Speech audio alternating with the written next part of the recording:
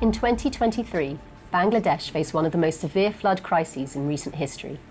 The impact was devastating. Entire villages submerged, communities uprooted, and lives and livelihoods left in turmoil as the nation grappled with the aftermath. Understanding disasters, like the floods in Bangladesh, means examining how everything is interconnected.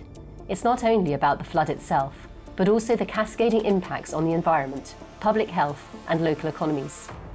Our work involves planning for these consequences, reinforcing infrastructure, and finding ways to protect communities when the unexpected occurs.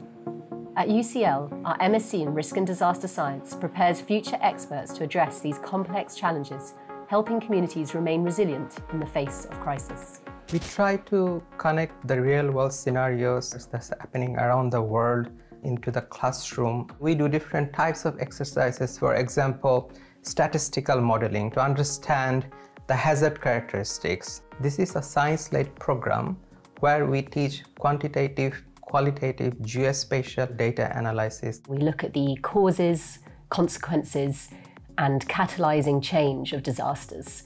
We look at it from different scales, very local scale, all the way through to the global scale. And this way we can really understand a holistic approach to disaster risk reduction.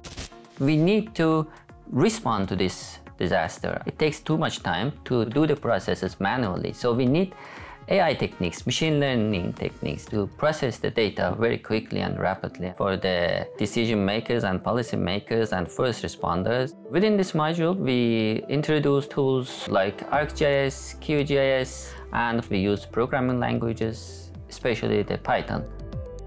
At UCL, the MSc in Risk and Disaster Science offers a unique opportunity to study in the heart of London, connecting students with world-leading businesses, organisations and policymakers. One of the main reasons I applied to this master's was because you can see how it's applied in real life. I use my data analytical skills that I've acquired throughout the course a lot in my day-to-day -day job. You really gain a sense of understanding of how to think with a risk lens. You will never look at the world in the same way.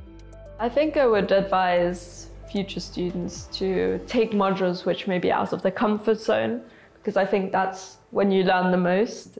Our programme is interdisciplinary, drawing on expertise from engineering, environmental science, public health, and social policy to tackle complex challenges across sectors. By understanding disasters from a multidisciplinary perspective, these students can understand the problems in a way that means they can genuinely work across disciplines, across sectors. That places our students in a unique position of strength. Here, students don't just study theory, they build practical skills and networks that empower them to lead in crisis management, shape resilient communities, and make a lasting impact across fields.